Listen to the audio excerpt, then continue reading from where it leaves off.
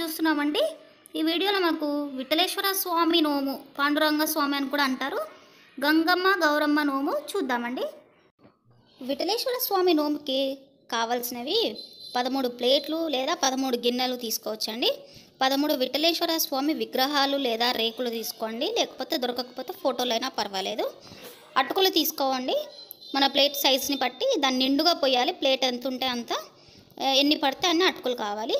పదమూడు జతల వెండి కోలలు. వీలైతే మీకు ఒకవేళ మీరు అఫోర్డబుల్ అనుకుంటే పదమూడు వెండి కోలలు తీసుకోండి. వెండివి చాలా చిన్నవి వస్తాయండి. అగ్గి పుల్లలో సగం ఉంటుంది. చిన్నగా వస్తాయి అవి. కోలల్లాగా వాళ్ళు మనకు వెండి షాపుల్లో బంగారం షాపుల్లో అడిగితే వాళ్ళు ఇస్తారు. వెండి కోలలు కావాలంటే కాస్ట్ కూడా పెద్దగా ఉండదు. వీలైతే అవి తెచ్చుకోండి. జత ప్రతి ప్లేట్లో ఒక జత కాబట్టి మనకి ట్వంటీ సిక్స్ కావాలి ఇరవై ఆరు కావాలి మనకు టోటల్గా అడిగి తెచ్చుకోండి. తక్కువ కాస్ట్ అయితే పెద్దగా ఉండదు. ఒకవేళ అది వీలు పడకపోతే మనకి చెక్క కొలలు దొరుకుతాయి కదండి. చిన్నవి దొరుకుతాయి. అవన్నీ తెచ్చుకోండి. లేదంటే పెద్దవైనా పెట్టుకోండి. లేదు అవి కుదరదు ఇవి కుదరదు అని అనుకుంటే మా దగ్గర పెన్సిల్స్ ఉంటాయి కదండి. పెన్సిల్స్ తీసుకొని దానికి ఏదైనా ఒక పెయింట్ వేసేసేయండి. సిల్వర్ కలర్ గోల్డ్ కలర్ ఏదో ఒకటి కోలల్లాగా పెయింట్ కానీ స్టిక్కర్స్ కానీ ఏదో ఒకటి పెట్టేసి అదైనా పెట్టుకోవచ్చు.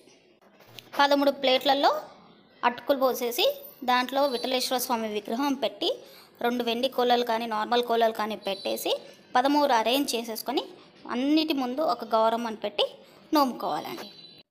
చాలా ఈజీగా ఉంది కదా? ఇప్పుడు గంగమ్మ గౌరమ్మ నోము చూద్దామండి.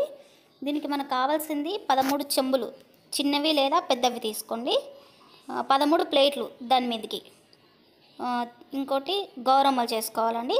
పిల్ల గౌరమ్మలు తల్లి గౌరమ్మలు. పదమూడు పదమూడు గౌరమ్మలు తీసుకోవాలండి.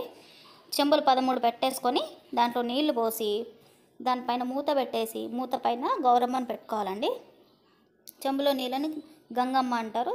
దానిపైన మనం గౌరమ్మను పెట్టుకుంటున్నాం. అట్లా పదమూడు అరేంజ్ చేసుకొని అన్నిటి ముందు తమలపాకుల్లో ఇంకో గౌరమ్మని పెట్టుకొని నోముకోవాలండి. రెండు నోములు బాగా నచ్చాయి అనుకుంటాను. వీలైతే నోముకోవడానికి ట్రై చేయండి. మరిన్ని వీడియోస్ కోసం నా ఛానల్ని సబ్స్క్రైబ్ చేయండి.